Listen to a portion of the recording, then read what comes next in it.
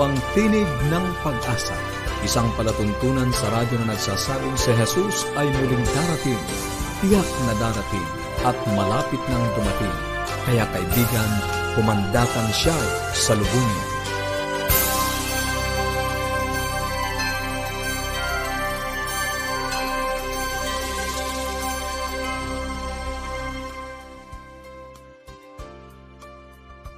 Maligaya at puno ng pag-asang pakikinig mga kaibigan. Ako pa rin po ang inyong lingkod, Luda Los Reyes, ang inyong kaibigan dito sa Tinig ng Pag-asa.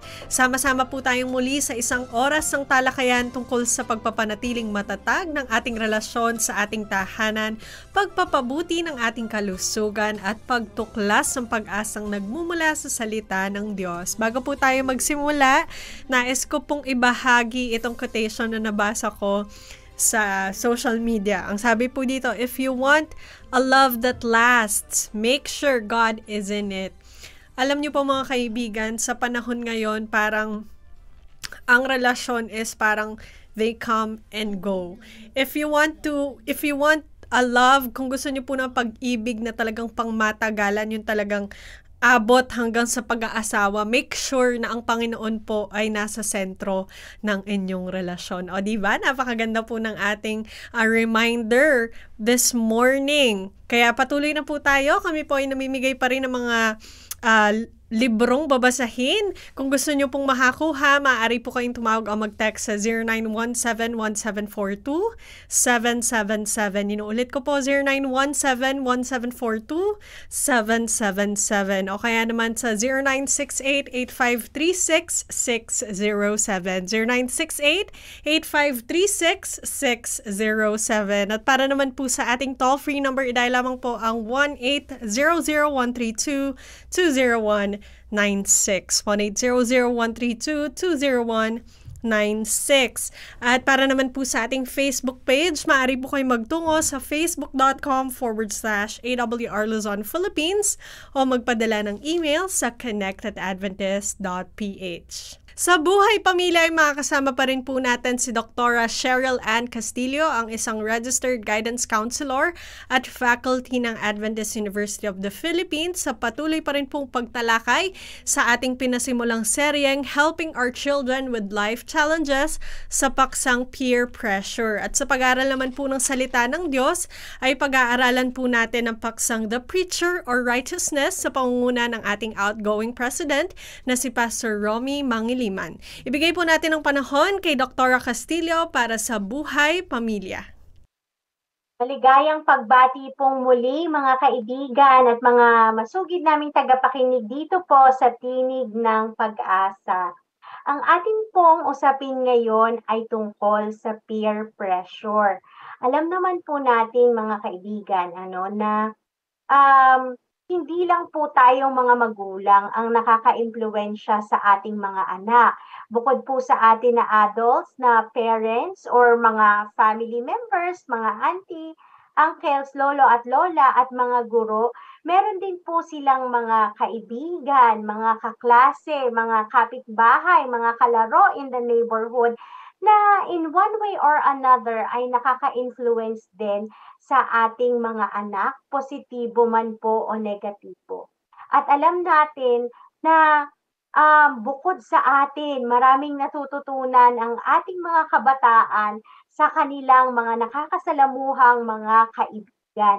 Kaya nga po, mahalagang mapag-usapan natin ang tungkol sa peer pressure. Siguro uh, ako particularly meron din nung aking kabataan, marami din po akong mga experiences about peer pressure na um, sa mabuting paraan na encourage ako para gumawa ng maganda. For example, nakasali ako sa choir kasi ang aking mga kaibigan ay nasa choir, ganyan. O di kaya um, na encourage akong magsimba dahil yung friends ko ay palaging nagsisimba. On the other hand, meron din naman akong mga experiences na um, nakakagawa ako ng maganda, nakakapunta ako sa isang lugar na hindi nakakapagpaalam sa aking mga magulang dahil din sa peer pressure o sa udyok ng aking mga kaibigan. May isang kabataan akong nakausap just recently na sabi niya natuto siyang mag-vices, natuto siyang um, manigarilyo at natuto siyang uminom dahil siya ay sinasabihan ng kanyang mga kaibigan na, "Oh, wag ka na munang pumasok. Pumunta muna tayo dito, mag-cutting class tayo. Tapos pumunta tayo dito sa lugar na ito." At doon natutunan niyang mag-smoke, natutunan niya ding um, uminom ng alak. At um, nung sinabi ko sa kanya, sabi ko, ba, hindi mo naman yun kailangan gawin. Bakit mo siya ginagawa? Sabi niya, hindi niya daw matanggihan ang kanyang mga kaibigan dahil um, palaging sinasabi sa kanya, ano ba yan, wala ka namang pakisama, o di kaya yung tinatawag nating KJ or Killjoy. So marami siyang naririnig na hindi maganda sa kanyang mga kaibigan. So para siya makablend in or para hindi na lang siya tuksuhin, ay napilitan siyang makisama sa kanila. At dahil doon, ay maraming mga negatibo na rin nangyari sa kanya. Parang um, nahirapan siya na tanggalin ang kanyang bisyo. Ganon din, nag-suffer ang kanyang uh, pag-aaral. Ano, bumaba ang kanyang mga grades dahil sa madalas niyang pagkakating classes. So, dahil siguro dahil dito sa mga examples na ito, um, gusto ko lang i-emphasize kung ano ang kahalagahan ng masubaybayan natin ang ating mga anak pagdating dito sa peer pressure. Ang urge daw po to conform with peers, pag sinabi kasi nating peer yung kanyang mga kaedad, mga kaibigan or kaklase na kanilang kaedad, ang pag, pag, pag yung urge nila na mag-conform o makisama sa kanilang mga kaibigan ay normal, lalong-lalo na sa mga may edad na 12 to 21 years old. Dahil dito po sa mga ages na ito, mas nagiging kampante silang magsabi or mag-share sa kanilang mga kaibigan than their parents. Talagang dumadating po sa pagkakataon na parang children are happier with their peers, ano? O di kaya mas mas gusto nila na ginagawa nila yung mga bagay na kasama ang kanilang mga kaibigan more than kasama ang kanilang mga magulang, ano? Pero Um, maganda rin po kasi ito, nakakatulong din actually ang mga friends sa pag-develop ng good self-esteem ng mga kabataan or ng ating mga anak kasi parang lalo na kung magandang influence ng mga ka- kaibigan, natututunan sila, ay ano pa yung mas magandang gawin kong damit or ano pa yung mga talents ko kasi minsan nare-recognize or nade-discover ang mga talents kapag kasama ang mga kaibigan. Pero ang kailangan nating bantayan ay yung bad effects ng peer pressure. Ano? Kasi um, kagaya nga ng sinabi ng isang kabataan kanina na ay yung example ko kanina doon sa kabataan na parang hindi siya makaiwas dahil um, dahil maraming sinasabi sa kanya yung mga kaibigan niya, so susundin na lang niya. Pero dahil nga yun kasi yung challenge, nandun sila sa stage na gusto nila na magkaroon ng ano ba, gusto nila na ma-accept sila ng kanilang mga kaibigan.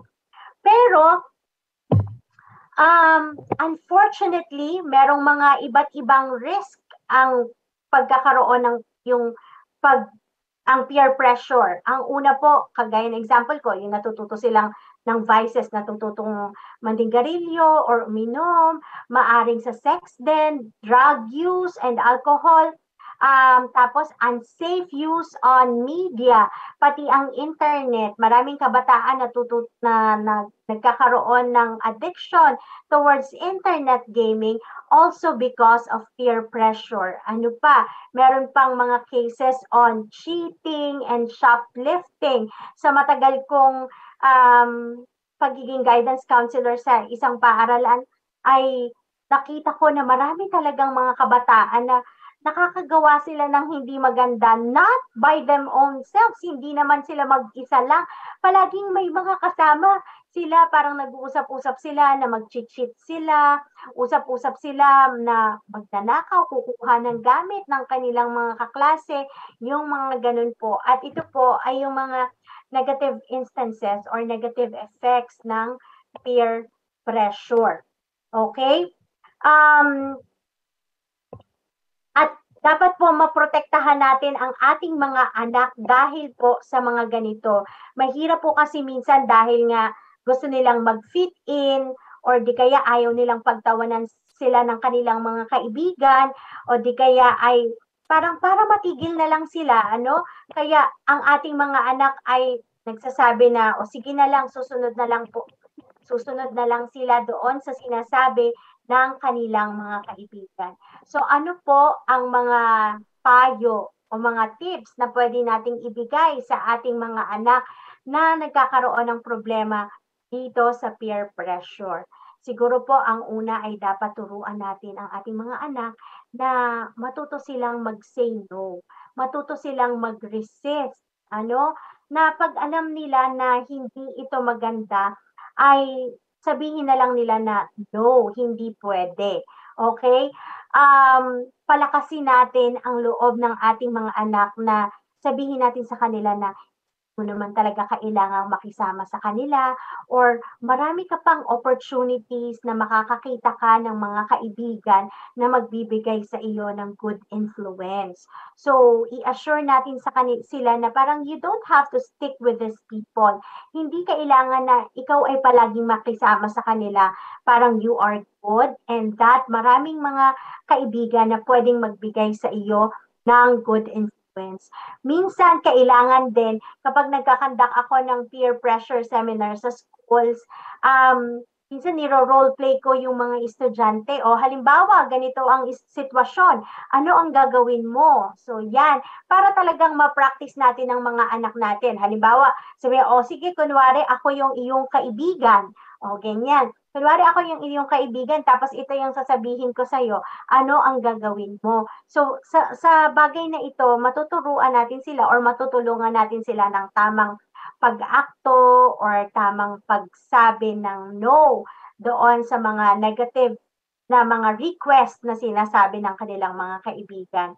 At of course, um, foundation din po dito yung pagbibuild sa kanila ng good self-esteem. Kaya po yun yung una nating topic pagdating sa helping children with their ano no with their challenges. Napaka-importante po talaga na mabuo sa ating mga anak yung good self-esteem, yung yung mga sinabi ko nung nakaraan na i-validate ang kanilang nararamdaman o di kaya yung mga praises na tama or akma, yun ay mga bagay na nakakapagpabuo ng um, ng sarili, ng kanilang kumpiyansa sa sarili. Maganda din po na bigyan natin sila, i-monitor natin kung sino ang mga kaibigan na meron sila. So para po sila ay masabihan natin that they have to choose their friends wisely. Ano? Kailangan matuto silang pumili ng tamang kaibigan. Ako personally, I would like to get involved with the kind of friends na meron ang aking mga anak. Pag sinasabi, parang parang pwede natin sabihin na, oh, anong tingin mo dito sa, ta- sa taong ito? Pwede rin tayong mag-background check, sino ba ito at ano ba ang ginagawa niya. So, kailangan din natin yun masabi sa ating mga anak na um, sino yung, yung mga mabubuting kaibigan at sino yung mga dapat nilang maging kaibigan. So, dapat kilalanin natin sila at para kung sakaling halimbawa nakaka-commit ng hindi maganda yung ating mga anak, alam natin kung saan natin sila ipo-pull out. Alam natin kung sino yung kokontakin natin. Kaya maganda po talaga na kilala din natin kung sino ang mga kaibigan ng ating mga anak. And doon sa mga instances na finally, doon sa mga instances na parang parang naiipit yung ating mga anak, isa ding pong tip other than saying no is also to use you as an excuse. Parang bigyan natin ng instruction yung mga anak natin na, oh, kapag ganito, kapag hindi mo alam ang gagawin mo, or di kaya kapag pinipilit kang pumunta sa isang sa isang lugar na ayaw mong pumunta doon dahil alam mo na hindi yun nakakabuti para sa iyo, parang sabihin mo sa anak mo na to use you as an excuse, gamitin ka na bilang excuse na sabihin sa iyo na um, anak, um, sabihin mo sa mga kaibigan mo na sabi na tinatawag na kita o di kaya ganun. Or sabihin mo sa mga kaibigan mo na ay may appointment kami sa family o di kaya ay um, meron akong mahalagang gagawin sabi ng nanay ko ganyan. So um, by that ma-assure yung anak mo na it's it's not actually lying to to his or her friends. Kasi totoo naman na nag-agree kayo na whenever na nandun ka sa sitwasyon na yon, nandun siya sa sitwasyon na yon, your child can use you as an excuse. Ako sa anak ko, sinabi ko, oh, sab sabihin mo sa mga kaibigan mo, sabi ng mami mo, hindi ka pa pwedeng lumabas. Okay? So kapag sinabi na ng mami, oh, dapat tapos na ang usapan, sabi ng mami, hindi pa pwedeng lumabas. So, yun po ang ilan sa mga um, tips na pwede natin pong may apply kung papaanong maitayo natin ang ating mga anak sa negative peer pressure. I think ang basic ang basic po dito ay dapat masubaybayan natin ang klase ng mga kaibigan or ng mga ng mga kaibigan or mga nagbibigay ng influence sa ating mga anak. Finally, I would like to relate Proverbs 13:20 sabi po dito, whoever walks with the wise becomes wise, but the companion of fools will suffer harm. So sana po ay bigyan tayo ng katalinuhan ng Panginoon kung papaano natin magagabayan ang ating mga anak na kung saan ang kanilang mga associates ay wise din, 'di ba? Dahil nga sabi sa Bible, Whoever walks with the wise, kung sino man po ang lumalakad sa mga matatalino, ay nagiging matalino din. Okay, so sana po ay may na ay ito po ay naging pagpapala para sa ating lahat at um, nakapulutan natin ng ilang mga magagandang tips para po maprotektahan natin ang ating mga anak when it comes to peer pressure. Maraming maraming salamat po, Doktora Castillo. Mga kaibigan, ito pong peer pressure ay nangyayari po ito kapag po ang ating mga anak ay nakakaramdam na they feel like they needed to fit in, may low self-esteem sila, or meron silang pagkatakot sa rejection. Kaya mga kaibigan, mga parents dyan, i-build up po natin ang self-esteem ng ating mga anak at turuan po natin silang mag-set ng boundaries and i-avoid yung mga tao or yung situation na nakaka-pressure sa kanila. And also, practice saying no. Ayan, para maiwasan po natin itong tinatawag na peer pressure. Kung kayo po ay may mga katanungan ukol sa ating naging paksa, maaari po kayong tumawag o mag-text sa 0917-1742-777. Inuulit ko po, 0917-1742-777. O kaya naman sa 0968-8536-607. 0968-8536-607. 0607. At para naman po sa ating toll-free number, idial lamang po ang 1-800-132-20196. 1-800-132-20196. At para naman po sa ating Facebook page, maaari po kayo magtungo sa facebook.com forward slash AWR Luzon, Philippines o magpadala ng email sa connectedadventist.ph. Mga kaibigan, sa pagkakataong ito, tayo po muna ay makakarinig ng isang awitin. Thank you.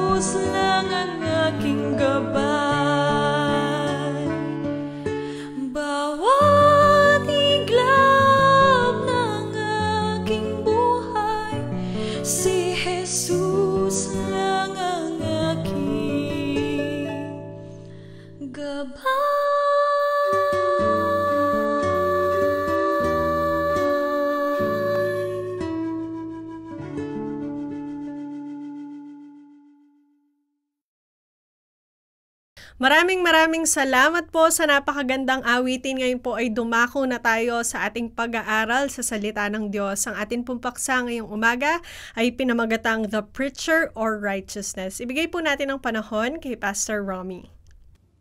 Kumusta ka kaibigan? Napakabuti ng ating Diyos. Ano pat sa araw-araw kanyang pinaparanas ang kanyang dakilang pag-ibig, ang kanyang maraming pagpapala. Muli, Narito ang iyong kaibigan sa teleradyo, Pastor Romeo Mangiliman, na nagsasabing napakabuti ng Diyos, kaibigan.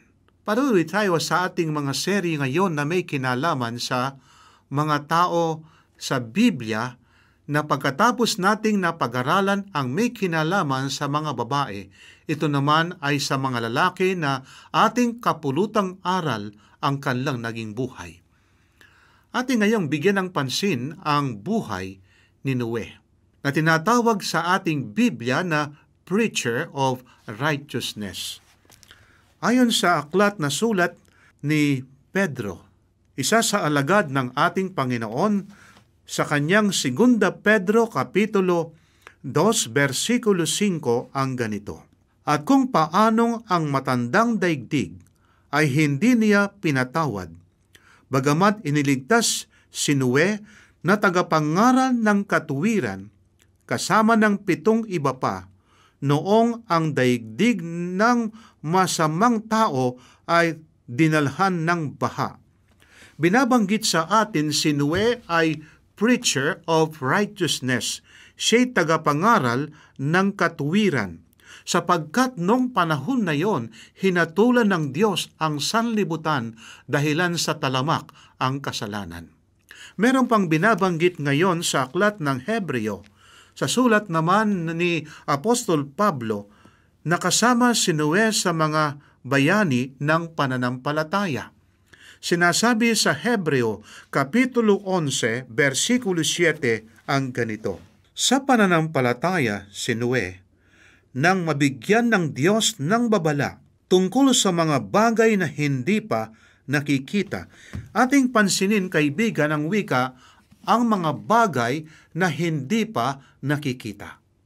Nung panahon na yon ay walang ulan. Nung panahon na yon ay hindi pa nakakita ng baha ang mga tao. Kaya ano kaya ang sinasabi nila na kapag ka si Noe ay nangangaral sa kanilang kapanahunan na para bagang imposible at maging ang mga taong mga marurunong ng panahon na yon ay hindi maaring maipaliwanag ang sinasabi ni Noe. Subalit, ang lalaking ito ay nanampalataya, sumunod siya sa sinabi ng ating Panginoon, bagamat sa tingin ng marami ay imposible, subalit by faith, kaibigan, ang lalaking ito ay nanampalataya sa sinasabi ng ating Diyos noong kanyang kapanahunan. Kaya sinasabi, sa pananampalataya si Noe, nang mabigyan ng Diyos ng babala tungkol sa mga bagay na hindi pa nakikita ay pinakinggan ang babala at gumawa ng isang daong para sa kaligtasan ng kanyang sambahayan. Sa pamamagitan nito ay hinatulan niya ang sanlibutan at siya'y naging tagapagmana ng katuwirang ayon sa pananampalataya. Sino ba si Noe? Ayon sa ating Biblia, sa ating napag-aralan sa nakalipas, ay ating binigyan ng pansin si Enoch. Si Enoch ay pampitong henerasyon at pagkatapos si Enoch ayon sa Biblia sa Henesis 5.22 ay kanyang naging anak si Matusalem, pinakamatandang tao na buhay sa mundong ito, 969 years. At pagkatapos ngayon si Matusalem ay naging anak si Lamek. At pagkatapos ngayon si Lamek, nung ang kanyang edad ayon sa Kapitulo 5, versikulo 28, nabuhay si Lamek ng isang daan at walumput dalawang taon at nagkaanak ng isang lalaki at tinawag ang kanyang pangalan ay Noe. Anong dahilan bakit binigyan ng pangalan Noe? Ang sabi ng Biblia, ito ang magbibigay sa atin ng ginhawa mula sa ating gawa at sa pagkapagod ng ating mga kamay dahil sa lupang sinumpa ng Panginoon. Alam natin ayon sa Biblia dahilan sa kasalanan ang lupa ay isinumpa. At pagkatapos sa versikulo 32 ng Kapitulo 5, nang sinuwe ay may limang daang taon naging anak niya sina Sem, Ham at Japet. Kaibigan, sa kanyang panahon ay nakita ng ating Diyos ang sanlibutan ay napakasama. Bakit? Ang sabi sa 6 versikulo 5 ang wika ng Biblia, nakita ng Panginoon na napakasama na ng tao sa lupa at ang bawat haka ng mga pag-iisip ng kanyang puso ay palagi na lamang masama. Ang sabi sa English, even the thoughts of their hearts ay pawang masama. Nanupat talamak ang sinasabing krimen nung panahon na yon. Ang nakawan, ang pagpatay, at gayon din ang imoralidad. Kung papaano sa ating panahon ngayon ang imoralidad ay laganap sa ating lipunan. Nung panahon na yon, kaibigan, ganoon ang kinabubuhay ng mga tao nung panahon na yon.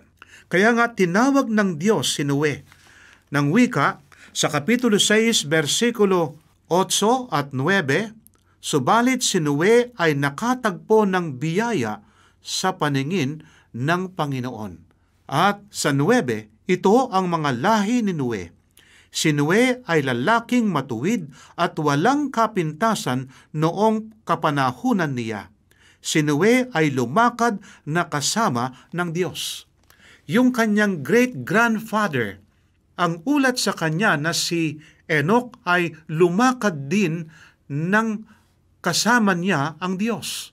At ang lalaking ito, pangalawa na binabanggit sa aklat ng Henesis, lumakad na kasama ng Diyos, walang iba kundi si Noe nakasumpong ng biyaya sa harapan ng ating Panginoon. At sapagkat ang wika ng Biblia siya'y taong matuwid, taong walang kapintasan sinasabi ng ating Panginoon, pinili ng Diyos siya upang siya'y mangaral ng sinasabing katuwiran ng ating Diyos. Kaya tinawag siyang preacher of righteousness. Kaibigan, ang wika ng ating Biblia, noong ang Diyos ay tinawag si Noe. Binigyan siya ng panahon na mangaral. Subalit kaibigan, ating ngayong malalaman ilan lamang ang mga tumanggap sa kanyang pangangaral. Ang kanyang asawa, ang kanyang tatlong mga anak, at gayon din ang kanyang tatlong mga manugang. Kapupulutan ng aral kaibigan ang buhay ng lalaking ito. Sapagkat kung baga sa mga nanguna sa bayan ng Diyos noong nakaraang panahon. Ayon sa Old Testament na katulad ni Eli na isang aserdote, ang kanyang mga anak ay gumawa ng kasamaan sa harapan ng ating Diyos. Gayon din ang mga naanak ni, ni Samuel ay gayon din na nangyari. Kaibigan, isang kapupulutang aral na sa ating panahon ngayon, gaano man tayo kabisi, gaano man tayo habala sa ating mga gawain, ang ating mga anak, huwag nating pabayaan. Ang sabi nga ng ating Biblia, turuan mo ang bata sa dapat niyang lakaran at kapag ka siya'y tumanda, hindi niya makakalimutan. Kaya samantalang ngayon ang lalaking ito ay nangangaral ang iniutos ng ating Panginoon sa kanya, siya'y gagawa ng isang daong. Upang ang lahat ng mga taong mananampalataya sa kanyang pangangaral, sila ay sasakay sa daong. At means kapag ka ikaw ay hindi nakasakay sa daong nung panahon na yon, ikaw ay hindi maliligtas. Kaya nga ang kaligtasan ay ginawa ng ating Panginoon nung panahon na yon at ang ginamit ng ating Panginoon na mangaral ay sinwe at pagkatapos ngayon ang daong ay ginamit ng ating Panginoon upang ang sino mang manampalataya sa pangangaral ni Nue ay maliligtas. At noong nakagawa ng daong ngayon si Noe, ang sabi ng ating Biblia, kaya't sinabi ng Panginoon, lilipulin ko ang tao na aking nilalang sa ibabaw ng lupa, ang taong, ang hayop, ang mga gumagapang, at ang mga ibon sa himpapawid, sapagkat ako'y nalulungkot na nilalangkos sila. Sabalit kay Noe ang wika ay nakasumpong ng biyaya sa paningin ng ating Panginoon. At pagkatapos ngayon ang daong ay natapos, nakikita ng mga tao ang daong marahil ang pinagawa ng Diyos kay Noe ay hindi sakdal sapagkat ang mga gumawa ay mga amateur. Nakatulad ng sinasabi ng iba na yung Titanic ay hindi lulubog sapagkat ginawa ng mga professionals. Subalit, yung Titanic ay lumubog, subalit yung ginawa ni Noe na pinagawa ng Diyos ay hindi lumubog. Ang sabi sa 7.1, At sinabi ng Panginoon kay Noe, Ikaw at ang iyong buong sambahayan ay sumakay sa daong, sapagkat nakita kong ikaw lamang ang matuwid sa harapan ko sa lahing ito. Kumuha ka ng tigpipito sa bawat malinis na hayop lalaki at babae, at dalawa sa mga hayop na hindi malinis, lalaki at babae, kumuha ka ng tigpipito sa mga ibon sa himpapawid, lalaki at babae, upang panatilihing buhay ang kanilang uri sa ibabaw ng lupa. Sapagkat pagkaraan ng pitong araw, magpapaulan ako sa ibabaw ng lupa ng apat na pung araw at apat na pung gabi, aking pupuksain ang lahat ng mga buhay na aking nilikha sa balat ng lupa. At ginawa ni Noe ang ayon sa lahat na iniutos sa kanya ng Diyos. Kaibigan, sumunod si Noe sa utos ng ating Panginoon. Marahil sabihin natin, napakatigas naman ang puso ng mga tao noong panahon na yon. Can you imagine 120 years ang ibinigay ng Diyos bago hatulan ang tao o ang sanlibutan noong panahon na yon. Subalit matigas ang puso ng mga tao. Subalit kamangha mga kaibigan sapagkat sinwe ang kanyang asawa, ang kanyang mga anak at ang kanyang mga manugang ang nanampalataya sa kanyang pangangaral at sila'y sumunod ayon sinabi ng ating Panginoon. Isipin mo kaibigan na noong sinwe ay nakasakay na at nasarahan na, na ang pinto ng daong at hindi pa umuulan sapagat ang wika ng Biblia nakasakay na na si Sinwe at hindi pa umuulan. Isipin mo kaibigan na sa araw-araw tumitingin ang mga tao nasa labas ng ng daong at pagkatapos ngayon ay marahil kinukot siya si Noe at sabihin, Noe, ayos ka ba dyan? Asan ang sinasabi mong baha? Wala pa ngang ni patak ng ulan at pagkatapos sasabihin mong magkakaroon ng baha. Subalit, ang lalaking ito ay hindi naniwala sa kanilang sinasabi at hindi pinakinggan ang kanilang pangungutya.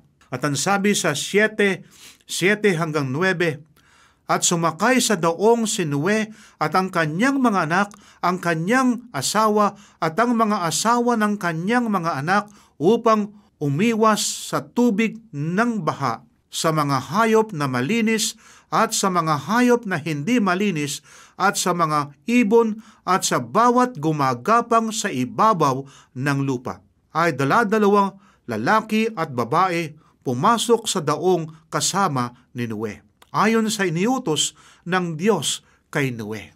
Kaibigan, ito yung bunga ng pananampalataya.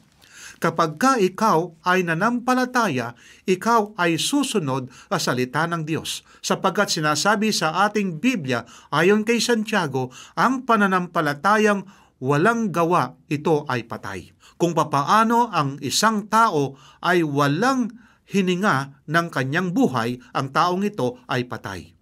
Kaya nga, kinakailangan ang pananampalataya ay may gawa. At ang kanilang gawa ay sumakay sila sa daong. Kaibigan, hindi sila tinanggap ng Diyos dahilan sa kanilang pagsakay. Yun ay bunga ng kanilang pananampalataya. Sila'y nanampalataya, kaya sila ngayon ay nakasakay sa daong. Kaibigan, noong Pagkatapos ng isang linggo, ayon sa storya sa Biblia, umulan ng umulan. Nagkaroon ngayon ng baha. Nagsisisi ang maraming mga tao na hindi nakasakay, subalit huli na. Kaibigan, kung papaano sa panahon ni Noe, ay binigyan ng Diyos ang tao na magsisi sa ating panahon ngayon ay gusto ng Diyos ang mga tao ay maligtas. Subalit hindi ka ililigtas ng ating Diyos na hindi mo piniling maligtas. Hindi ka ililigtas ng ating Diyos na ito ay labag sa iyong kalooban sapagkat meron tayong freedom of choice ang ating freedom of choice ay kinikilala ng ating Panginoon. Kaya kaibigan sa pangyayaring ito, ilan lamang ang nakasakay. Sa dami ng mga tao nung panahon na yon, walong mga tao ang naligtas. At pagkatapos ngayon ng baha, si Noe ay nakalabas na sa daong ang kanyang mga anak, ang kanyang asawa, asawa ng kanyang mga anak, at ng mga hayop na nakasakay sa daong, ang mga ibon. Ang tao ngayon ay tuwing nakikita nila ang langit ay nagdidilim, natatakot ang tao. Subalit ang ating Diyos ay meron siyang pakikipagtipan ngayon sa tao sa pamamagitan ni Noe. Ang sabi sa Kapitulo 9, versikulo 9 hanggang 17, ito ang ating mababasa. Narito aking itinatag ang tipan sa inyo at sa inyong mga anak na sumusunod sa inyo. At sa bawat nilikhang may buhay na kasama ninyo, ang mga ibon, ang maamong hayop at bawat mailap na hayop sa lupa na kasama ninyo sa lahat ng lumabas sa barko, sa bawat hayop sa lupa, aking pinagtibay ang aking tipan sa inyo hindi ko nalilipulin ang lahat ng mga tao sa pamamagitan ng tubig, ng baha, at hindi na magkakaroon ng bahang magwawasak ng lupa. Sinabi ng Diyos, ito ang tanda ng tipan gagawin ko sa inyo at sa bawat nilalang na may buhay na kasama ninyo sa buong panahon. Inilagay ko ang aking bahaghari sa lupa at ito ay magiging tanda ng tipan ko at ng lupa. At kapag tinipon ko ang mga ulap sa ibabaw ng lupa, ang bahaghari ay makikita sa lupa. Alalahanin ko ang aking tipan sa inyo, at sa bawat nilalang na may buhay at ang tubig ay hindi na magiging bahang lilipol ng lahat ng nabubuhay Kaibigan, ito ang tipan ng ating Diyos. Ano bang ibig sabihin ng bahaghari? Ito ay merong sikat ng araw at saka ng tubig. Nangangulugan, ang ating Diyos ay kanyang ginampanan ang hustisya sapagkat ang bayad ng kasalanan ay kamatayan. At ipinakita ng ating Diyos na kapag ka ang tao ay hindi magsisi sa kanyang mga kasalanan, siya ay kasamang mamamatay ng kasalanan. Subalit ang mga tao ngayon na nampalataya sa ating Panginoon, sila ngayon ay mabubuhay. At ang panahon ngayon ni Nue ay niyan tulad sa pangalawang pagparito ng ating Panginoon na bilang tanda. Ayon sa aklat ng San Mateo 24:37 hanggang 39, ito ang ating mababasa. Kung paano sa mga araw ni Nue, gayon din naman ang pagdating ng anak ng tao. Sapagkat kung paano sa mga araw na iyon, bago bumaha, sila'y kumakain at umiinom at nag-aasawa at pinapag-asawa hanggang sa araw na pumasok si Noe sa daong. At hindi nila nalalaman hanggang sa dumating ang baha at tinangay silang lahat ay gayon din naman ang pagdating ng anak ng tao. Kaibigan, hahatulan ng Diyos ang kasalanan na kung papaano ang wika ang mga tao nung panahon na yon nag-aasawa, nagsisipag-asawa, kaibigan, walang masama kung ating tinutupad yung utos ng ating Panginoon na magpakarami kayo ang wika. Ang masama rito, ang pag-aasawa ng tao ay wala na sa lugar. Nung panahon na yon, maging sa panahon ng Sodom at Gomora, may mga lalaki nag-aasawa ng kapwa lalaki. May mga babae nag-aasawa ng kapwa babae. Hindi ito yung panukala ng Diyos. At pagkatapos ang mga tao kumakain umiinom, hindi man sila marunong magpasalamat. Ilan kaya ang kumakain sa mga fast foods pero hindi nagpapasalamat sa Diyos bago kumain? Kaibigan, kung papaano sa unang panahon, sa panahon ni Noe, ay hinatulan ng Diyos ang sanlibutan sa pamagitan ng baha sa ating panahon ngayon, ahatulan ng Diyos ang kasalanan sa pamamagitan ng apoy. Kaibigan, ito ay isang babala sa atin. At ang sabi ng ating Biblia, sapagkat gay na lamang ang pagsinta ng Diyos sa buong sanlibutan, na ang sinumang sumampalataya hindi mapahamak kundi magkaroon ng buhay na wala hanggan. Kaibigan, itong ating pangangaral na ito ay isang babala sa maraming mga tao. Dapat tayong magsisi, bumalik sa ating Panginoon at tayo ay gagawa ayon sa kanyang kalooban, iwanan natin ang kasalanan, kaibigan. Kapag ka ating iniwanan ng kasalanan, tayo ay bibigyan ng Diyos ng kapangyarihan na mabuhay na hiwalay sa kasalanan. Subalit kapag ka ang tao ay ayaw humiwalay sa kasalanan, kaibigan, kasama siyang matutupok ng kasalanan sa apoy. Kaibigan, inaantay ka ng ating Panginoon na tanggapin mo siya na iyong tagapagligtas. Hindi na magtatagal muling darating ang ating Panginoon. Subalit kaibigan ng wika, kung papaano sa panahon ni Noe, ay gayon din sa ating panahon ngayon. Kaibigan, ahatulan ng Diyos ang kasalanan. Subalit, ang Diyos ay Diyos ng pag-ibig. Yung mga taong nakinig sa pabalita ng kaligtasan ay buhay na walang hanggan ang kanilang mararanasan. Alin ang ating pipiliin, kaibigan? Pipiliin ba natin ang ating Panginoon? Ang wika nga ng Biblia, hindi bukas ang kaligtasan, kundi ngayon ang kaligtasan ang pagtanggap sa ating Panginoon, hindi kinakailangan na tayo ay ibalam natin o yung hindi tayo magbibigay ng desisyon ngayon. Kaibigan, ito na ang panahon na tayo ay gagawa ng desisyon na tanggapin natin lubusan ng ating Panginoon na ating tagapagligtas. Na kung papaano ng panahon na yon, ang sanlibutan ay nawasak sapagkat dahilan sa kasalanan. Sa ating panahon ngayon, papalitan ng ating Panginoon ang sanlibutan na ito na wala ng kasalanan. Babaguhin ng ating Panginoon ang sanlibutan na ito na talamak sa kasalanan. Kaibigan, inaantay ka ng ating Panginoon.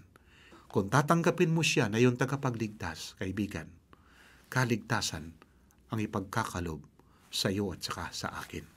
At bago tayo manalangin, nais kong basahin ang sinasabi ni Apostol Pablo sa aklat ng Pilipos 4, 6 at 7.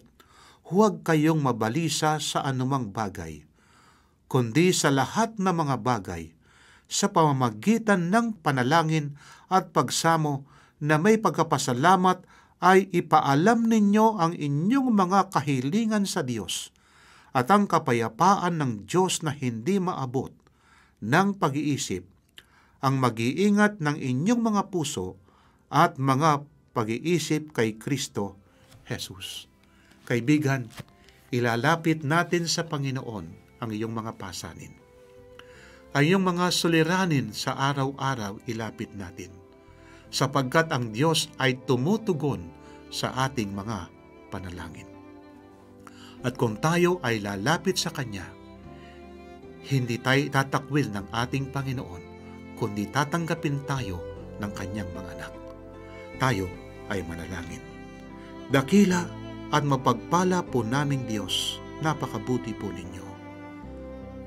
Pagkatapos po naming napag-aralan ang buhay ni Noe, ang kanyang kapanahunan, o dakilang Diyos, meron po kayong panukala sa inyong mga anak, na kung kami ay manampalataya sa aming Panginoon, ipagkakalob niya ang isang buhay na walang hanggan. Nasa kamay ng aming Panginoon ang aming pag-asa. Nasa Kanya ang aming kaligtasan. O dakilan Diyos, pagpalain ang aking kaibigan. Ingatan po siya at ang kanyang buong sambahayan, O Diyos, pagpalain nawa po. Marami pong may karandaman ng COVID sa aming paligid. O dakilan Diyos, inyo po silang pagalingin sa pamagitan ng inyong mapagpalang kamay na hihipo sa kanila. Maraming salamat, Panginoon, na inyo pong tinanggap ang aming panalangin. Ang inyong basbas nawa ang aming tatanggapin sa oras na ito. Sa pangalan po ng aming Panginoong Hesus. Amen. Kaibigan, pagpalaing ka nawa ng ating Panginoon. At nawa itong ating napag-aralan magsilbing inspirasyon sa iyong pamumuhay sa araw-araw. Pagpalaing kanawa ng ating Panginoon. Maraming maraming salamat po Pastor Romy mga kaibigan sa mundong ito kaliwat kanan ang kasalanan. Ang nais po ng ating Panginoon, iwanan natin lahat ng ating mga pagkakasala, magsisi tayo, bumalik tayo sa Panginoon at gumawa tayo na naaayon sa kanyang kalooban. Mahirap po ito mga kaibigan, alam po natin yan. Ngunit magiging posible ito kapag tayo po ay nagpalakas sa ating Panginoon upang magkaroon rin po tayo ng buhay na walang hanggan yan. Sino po bang may ayaw nun? Kaya kaibigan, patuloy po kaming nag-aanyaya sa inyo na kung hindi nyo pa natatanggap ang ating Panginoon ay tanggapin mo na habang may oras pa. Kung kayo po ay may mga katanungan ukol sa ating napag-aralan, maaari po kayong tumawag o mag-text sa 0917 1742 777. Inuulit ko po 0917-1742-777 o kaya naman sa 0968-8536-607. 0968-8536-607. At para naman po sa ating toll-free number, dahil lamang po ang 1-800-132-20196. 1-800-132-20196. At para naman po sa ating Facebook page, page, maaari po kayo magtungo sa facebook.com forward slash AWR Luzon, Philippines o magpadala ng email sa connectedadventist.ph. Mga kaibigan, patuloy po kami nagpapasalamat sa inyo sa inyong patuloy na pagtangkilik sa ating palatuntunan at sa ating pansamantalang paghiwa-hiwalay.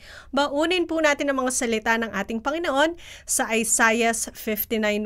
Narito ang kamay ng Panginoon ay hindi maikli na hindi makapagligtas, ni hindi mahina ang kanyang pandinig na ito'y di makarinig. Bukas pang mali.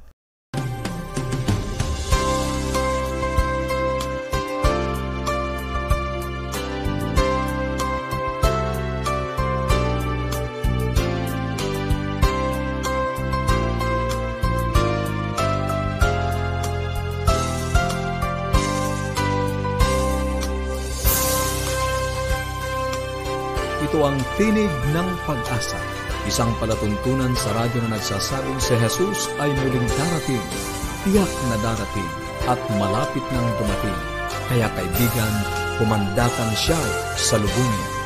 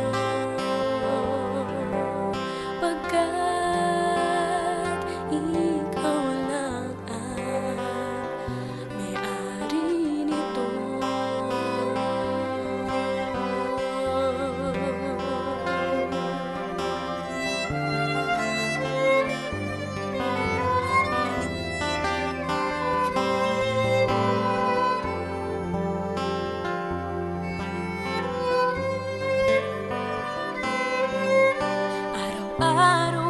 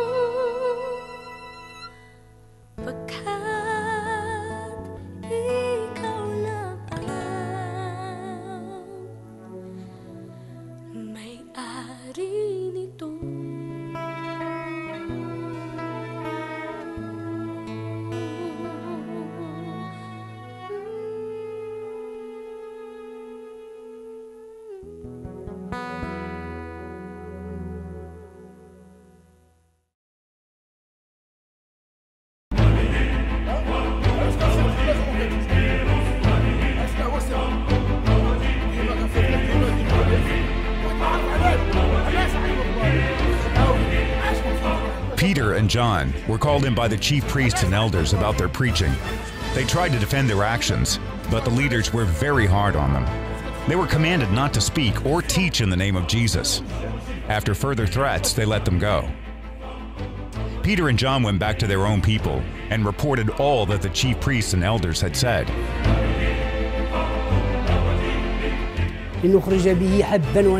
When we heard all this, we immediately raised our voices in prayer to God. The entire group prayed for Peter and John. We prayed for God to give boldness to these two humble servants. Such intense prayer I had not experienced for a long time. After we had prayed, suddenly the whole place was shaken. People were filled with the Holy Spirit, and Peter and John went out and gave witness with great power and grace. They witnessed throughout the land about the resurrection of their Savior